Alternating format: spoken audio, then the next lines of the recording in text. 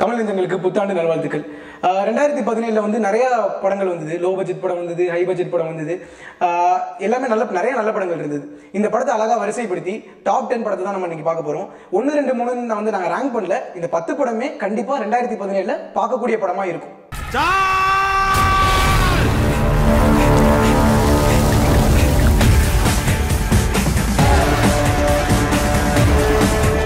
இந்த வரிசையில நம்ம முதல்ல பார்க்க போற படம் ஒரு கிடாயன் கருணை மனு. என்றைக்குமே என்னைக்குமே வந்து ஒரு ரியல் ஸ்டோரி ஒரு கிராமத்து ஸ்டோரி இதுக்கு வந்து உலக அரங்கில் பெருசாக அங்கீகரிக்கப்படும். இந்த படங்கள்லாம் உலக அரங்கில் பெருசாக அங்கீகரிக்கப்படும். அப்படி அங்கீகரிக்கப்பட்ட படம் தான் ஒரு கிடாயின் கருணை மனு. இந்த படம் பெர்லின் ஃபிலிம் ஃபெஸ்டிவலில் ஸ்க்ரீன் பண்ணப்பட்டுச்சு.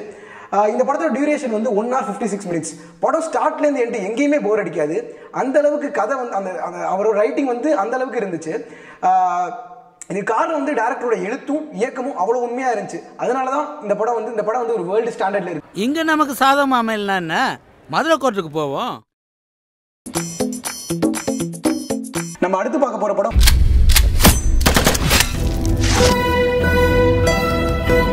இது வந்து ஒரு தமிழ் டிராமா த்ரில்லர் ஆக்சுவலி இந்த படம் வந்து டேரக்டர் நித்திலன் புதுமுக டேரக்டர் நித்திலன் அவர்கள் இயக்கியிருந்தாரு.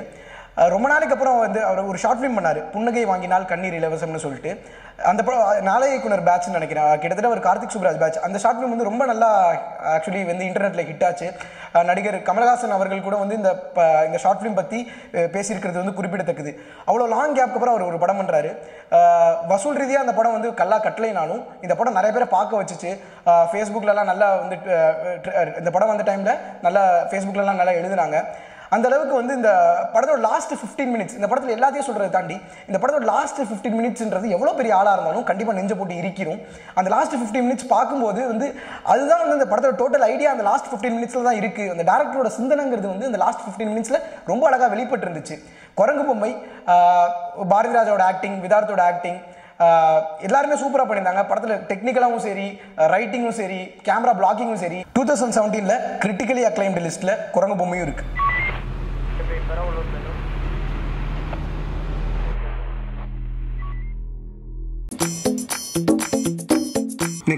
மாநகரம். சென்னை சிட்டியை வேற ஒரு கோணத்தில் காமிச்ச படம் மாநகரம்.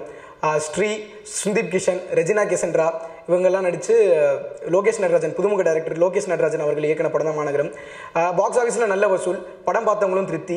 படம் முடியும் போது ஏன்டா முடிஞ்சுச்சு அப்படின்னு வந்து ஃபீல் பண்ண படம் தான் இது ரெண்டாயிரத்தி பதினாலே ஆல்மோஸ்ட் போஸ்ட் ப்ரொடக்ஷன் முடிஞ்சு ரெண்டாயிரத்தி பதினேழில் ரிலீஸ் என்ன சிறப்பான விஷயம்னா படத்தோட தரம் படத்தோட அந்த ஒரு அந்த படத்தோட வேல்யூ எல்லாமே வந்து ரெ- இப்போ ரெண்டாயிரத்தி பதினேழுலையும் ஒருவேளை ரெண்டாயிரத்தி பதினேழுல தான் ஷூட் பண்ணி எடுத்த மாதிரி இருந்தது. அவ்வளோ ஃப்ரெஷ்ஷான படம் தான் மாநகரம் நடு ரோட்டில் போட்டு ஒருத்தனை அடிச்சா ஏன்னு கேட்கறதுக்கு ஒருத்தன் வரமாட்டான். நாம கேட்டிருக்கோமா சார்? அடுத்து மியூசியம் இருக்கு. ஹிப்ஹாப் தமிழ் அவரே மியூசிக் போட்டு டைரக்ட் பண்ணி ஆக்ட் பண்ணி ரிலீஸ் ஆன மாசத்துல முழுசா ட்ரெண்டிங்ல இருந்த படம் தான் மியூசியம் இருக்கு. ஆஹ் இந்த படம் வெற்றிக்கு காரணம் அவரோட தனிப்பட்ட திறமையும் யூடியூபர்ஸ் அவர் இந்த படத்துல அழகா பிளேஸ் பண்ணியிருக்கிற விதமும் தான். இந்த வருஷத்தோட கண்டிப்பான ஒரு மாஸ் என்டர்டெய்னர் காலேஜ் பசங்களாம் போய் பார்த்தா பிடிக்கும். அந்த டைம்ல ஃபுல்லா பாட்டு வந்தப்போ ஃபோனில் ரிங்டோன் வச்சுக்கிறது. சும்மா ஸ்டேட்டஸ் போடுறது. அப்படியா இருந்தது இந்த படம். அதை தாண்டி எல்லா டைம்லையும் வந்து ஒரு காலேஜ் படம் வரும். இப்போ உதாரணத்துக்கு எடுத்துக்கிட்டிங்கன்னா டூ இயர்ஸ் முன்னாடி பிரேமம் வந்துச்சு. ஒரு ரொம்ப பேக்கில் எடுத்துக்கிட்டிங்கன்னா சேது வந்தது. இப்போ அர்ஜுன் ரெட்டி வந்தது. காலேஜ் மூவி அப்படிங்கிறது வந்து அதான் அது வந்து கொண்டாடுறதுன்னு ஒன்று இருக்குல்ல. காலேஜ் பசங்க யூத் எல்லாமே கொண்டாடின படமாக இருந்தது மியூசியம் இருக்கு. ரெண்டாயிரத்தி பதினேழில் ஒரு ஒரு பக்காவான என்டர்டெய்னர் அதில் எந்த ஒரு சந்தேகமுமே இல்லை. தோத்தாலும் ஜெயிச்சாலும்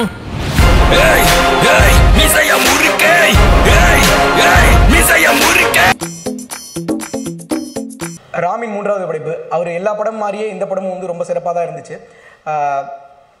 இந்த படத்தை பற்றி ஃபஸ்ட்டு யோசிக்கிறப்ப எனக்கு முதல்ல ஞாபகம் வருது வந்து ராமோட வாய்ஸ் ஓவர் படம் முழுக்க வாய்ஸ் ஓவர் இருக்கும். அந்த வாய்ஸ் ஓவரில் நக்கல் இருக்கும் அரசியல் இருக்கும் நாகரிகம் இருக்கும் காதல் இருக்கும் மக்கள் பற்றின அக்கறை இருக்கும்.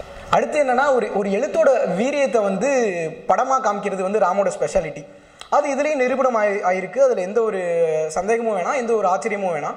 அது இதுலேயும் நிரூபணம் ஆயிருக்கு ஸ்கேட்டெல்லாம் போட்டு ஆண்ட்ரியா வந்து அழகாக நடிச்சிருந்தாங்க.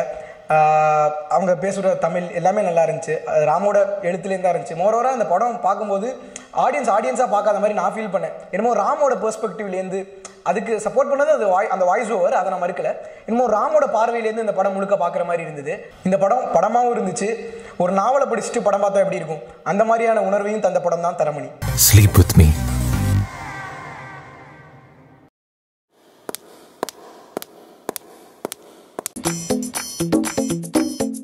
ஸ்கிரிப்டில் எங்கேயுமே காம்ப்ளிகேஷன் இல்லை. ரொம்ப ஸ்மூத்தாக ரொம்ப அழகாக ரொம்ப ஜென்டிலாக இருந்துச்சு படம் மேயாதமான் உண்மையிலே இது ஒரு ராயபுர லாலாலான் தான். ரத்னகுமார் அவர்களுக்கு வந்து இது முதல் படம். கார்த்திக் சுப்ராஜ் வந்து அவர்களுக்கு வந்து ஃபஸ்ட்டு ப்ரொடக்ஷன் சந்தோஷ் நாராயணன் பிரியா பவானி சங்கர் டெலிவிஷன்லேயே பார்த்துட்டு இருந்த பிரியா பவானி சங்கர் வந்து இந்த படத்தில் நடிச்சிருந்தாங்க. எல்லாத்தையும் ஓவர்டேக் பண்ணுற மாதிரி ஒரு மரண கானம் ஒரு புதுமையான ட்ரீட்மெண்ட்டு இந்த படம் வந்து மெர்சல் கூட வந்தது. ஒரு மெ- இது இதுவும் ஒரு மெர்சலான படம் தான். கடைசி வரலையும் எல்லாமே நான் சொல்லவே இல்லை. அதான் நம்மளாம் ஒன்றும் மேதமான வைக்கிறோம்ல டோரா வந்து நயன்தாராக்கு பெருசாக கை கொடுக்கலைனாலும் தனியாக நடித்து வந்த படத்தில் இது வந்து ஹீரோவுமே இல்லாமல் தனியாக இறங்கி சிங்கிளாக சூப்பராக பண்ண படம். அறம் சோலோவா என்ட்ரி கொடுத்து நடிச்சிருந்தாங்க. எங்கேயுமே வந்து கிளாமரில் சாரிலையும் தன் ரசிகர்களை வசப்படுத்த முடியும் அப்படின்றத வந்து நயன்தாரா பண்ணிட்டாங்க. இரண்டாம் உலக நாடான இந்தியாவில் வந்து ராக்கெட் விட முடியும். அட் த சேம் டைம் ஆழ்துணை கிளற ஒரு குழந்தை வந்து அதை காப்பாற்ற முடியாதா? அப்படிங்கிற ஸ்ட்ரைட்டாக வந்து கவர்மெண்ட்டை பார்த்து வந்து கோபி நாயனார் அவர்கள் வந்து கேள்வி கேள்வி எழுப்பியுள்ளார். இந்த வருஷம் அந்த சோஷியல் மூவிஸில் வந்து இது வந்து அழகாக சொசைட்டியை போர்ட்ரே பண்ணி இந்த சமூகம் இப்படி தான் இருக்குது இதை நான் இப்படிலாம் கேள்வி கேட்பேன். இந்த- மாதிரி மூவிஸை கண்டிப்பாக நம்ம என்கரேஜ் பண்ணும் இது உண்மையிலே வந்து இந்த வருஷத்தில் வந்து பெஸ்ட்டு சோஷியல் ட்ராமா அப்படின்னு சொல்லலாம் இந்த மூவியை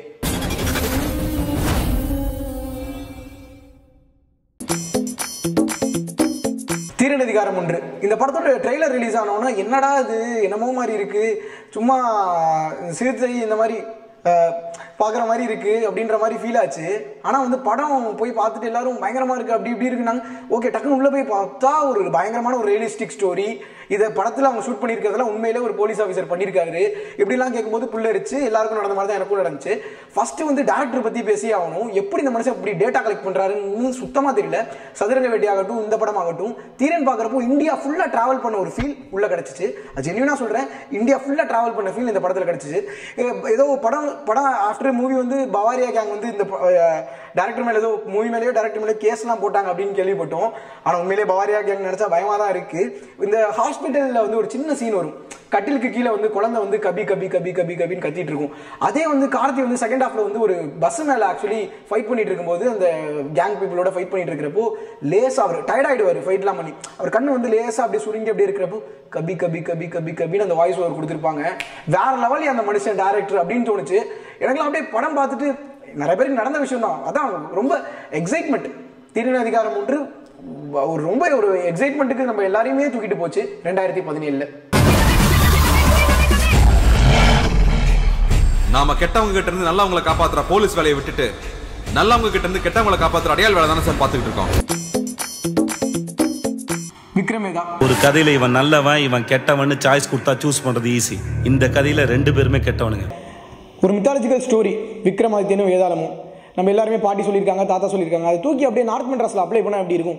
அப்படி பண்ண படம் தான் விக்ரமேதா புஷ்கர் காயத்ரி அவங்களோட எல்லா படமே பிடிக்கும். இதுக்கு முன்னாடி பண்ண ரெண்டு படமும் சரி. ஆனால் இந்த படம் வந்து அவங்களுக்கு பாக்ஸ் ஆஃபீஸில் அதிகமாக பணம் சம்பாரிச்சு கொடுத்துருக்கு அப்படிங்கிறது ரொம்ப சந்தோஷமான விஷயம். ஏன்னா படத்துக்கு அந்த ஸ்டாண்டர்ட் இருக்குது இந்த மாதிரி நிறைய படங்கள் மல்டி ஸ்டாரர் படங்கள் ஆக்சுவலி நிறைய வரதில்லை அது வந்து ரொம்ப வந்து ஃபிலிம் இண்டஸ்ட்ரியில் ஒரு பாசிட்டிவான விஷயத்தை கிரியேட் பண்ணணும்னு சொல்லுவாங்க. நம்ம பாலிவுட் இண்டஸ்ட்ரியிலலாம் பார்த்தோம்னா வந்து நிறைய மல்டி ஸ்டாரர் ஃபிலிம்ஸ் வரும். அவங்க வந்து அழட்டிக்கவே மாட்டாங்க. பட் ஆக்சுவலி மாதவன் விஜய் சேதுபதி இதெல்லாம் பண்ணியிருக்கிறது வந்து ரொம்ப பெரிய விஷயம். விஜய் சேதுபதி வந்து நடித்தாரா இல்லை வாழ்ந்தாரா? இல்லை படத்தில் வந்து எல்லா கேரக்டர்ஸுமே சரி. அப்படியே விஜய் சேதுபதி தம்பி மாதிரியே கதிர் நடிக்கிறாரு. வரலட்சுமி அதே மாதிரி எல்லாருமே வந்து ரியலாக அப்படியே வந்து என்னமோ ஒரு நார்த் மெட்ராஸில் இருக்கிற ஒரு அப்படியே அந்த பீப்புள் மாதிரியே மாறிடுறாங்க.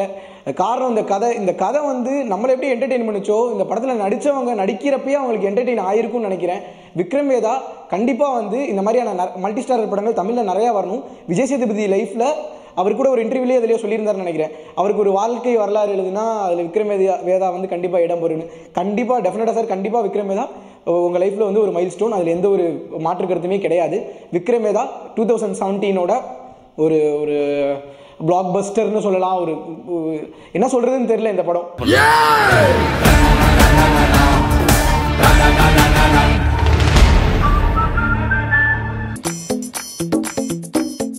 மக்களை அருவி போல அள வைக்கத்தான் அருவி என்று பெயர் சூட்டினாயோ?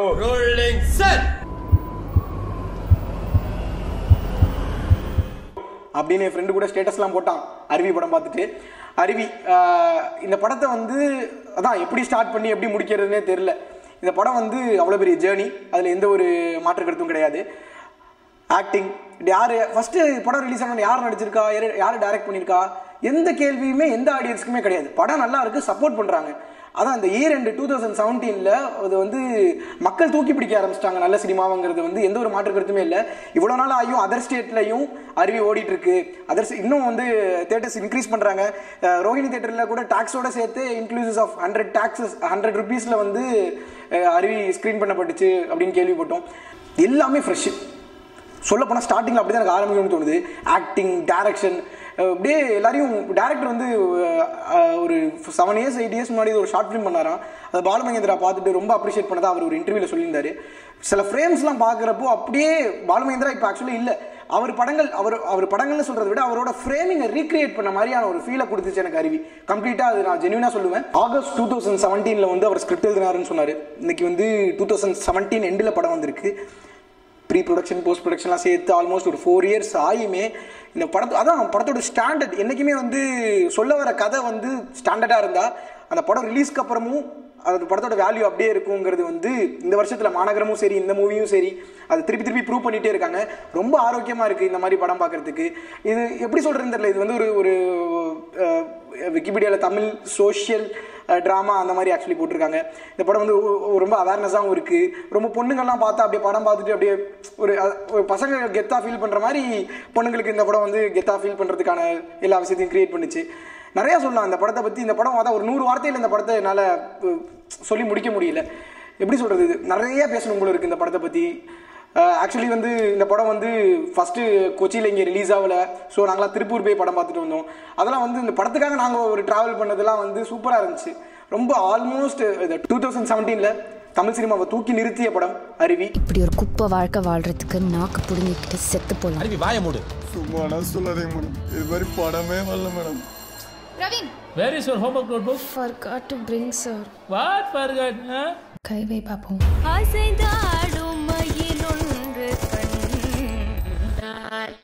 நன்றி வணக்கம்.